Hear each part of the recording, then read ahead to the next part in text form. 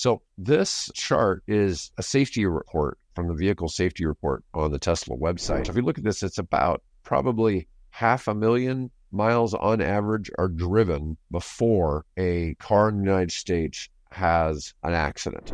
This is when the autopilot takes over. This is roughly what 13 to 14 times less likely than a human to have an accident.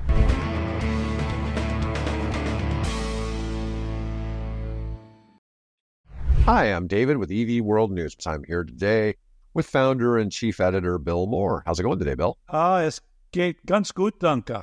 Okay, so um, my my next story. Now, this is actually from the Tesla website. So this chart is a safety report from the vehicle safety report on the Tesla website. This is miles driven per one accident.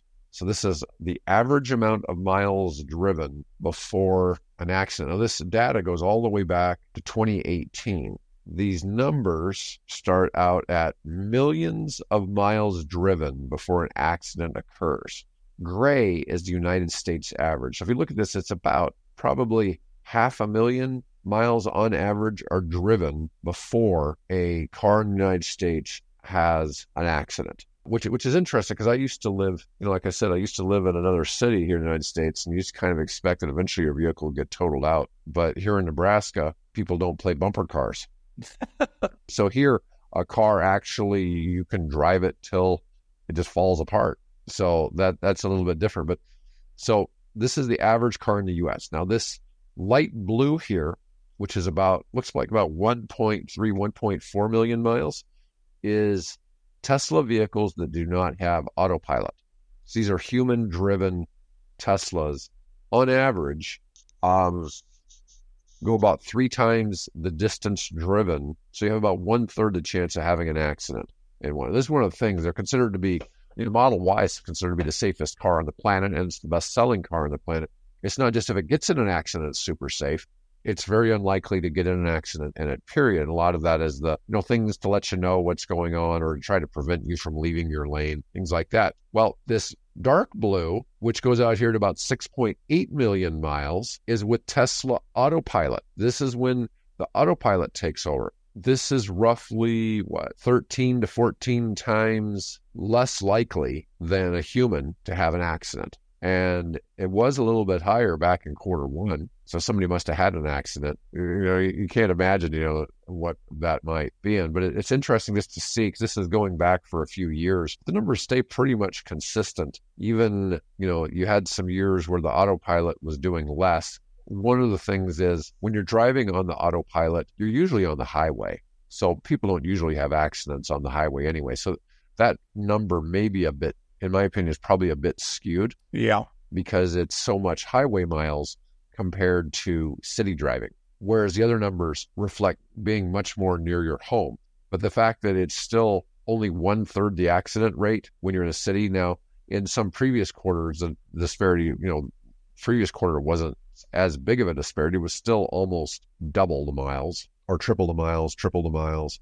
Most of the time it's been triple. And at one point it was even more than that that I thought that was um, good information. Now, what's interesting as I go a little farther on this, it does the same thing, but vehicle fire data. Miles driven before having a fire in a Tesla vehicle. Now, the number has been going up. Even if we take the worst year for gas cars, it stayed about the same. Okay.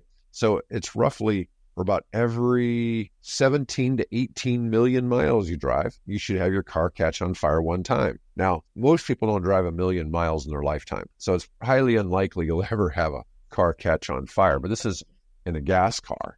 Now, when we switch it over to a Tesla, it's per about every 135 million miles driven. the, the odds of having one catch on fire, it's not impossible.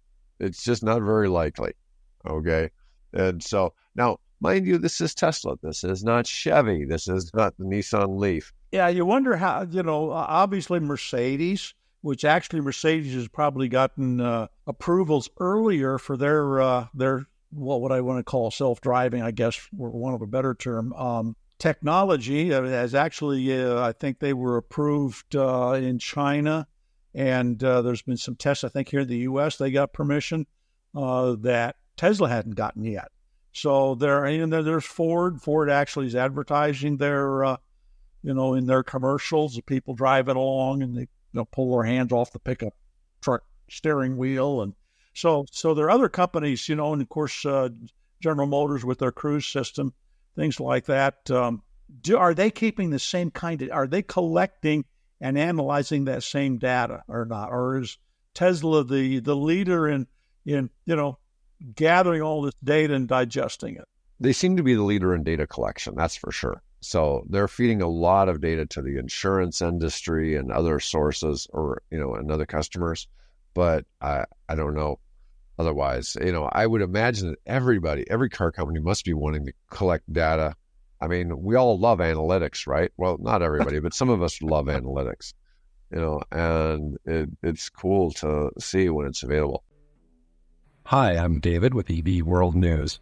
If you like this video, then please press the like button. If you like the content and would like to see more videos on electric vehicles, then please hit the subscribe button. If you have some feedback for us, please let us know in the comments. Have a great day.